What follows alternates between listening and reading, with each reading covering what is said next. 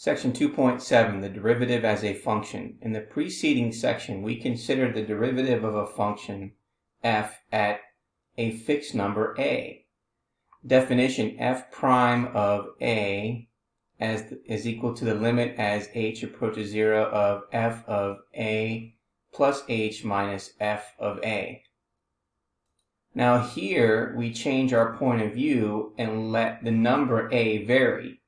So if we replace a in the equation 1 by a variable x, then we obtain definition number 2.